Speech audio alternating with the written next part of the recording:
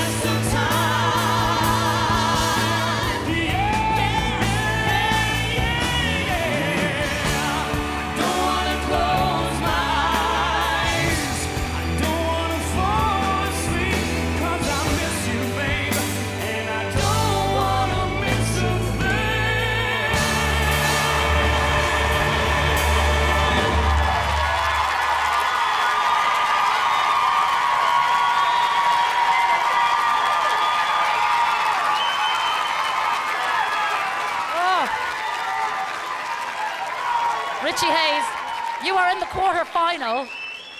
Brilliant performance. And uh, can I borrow that leather jacket? You can. Doesn't want it. All right, uh, Bressie, coming to you first. You're gonna have to ask me because that's my leather jacket. He borrowed it off me for for for the You would show. have bought it in Mothercare, so you're all right. Yeah, it's a little tight. Richie, anyone who can pull off uh, Steven Tyler song, he's the, probably the best rock vocalist of all time. Like that, should waltz into the final.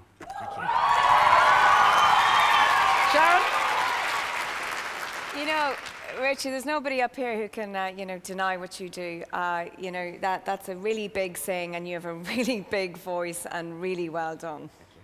All right, coming to you, Kian. Yeah, you know, like on paper, you know, Richie singing Steven Tyler doesn't work, but on stage with that voice, it does. And I, you know, it shouldn't, but it was brilliant. I loved it. I thought it was excellent.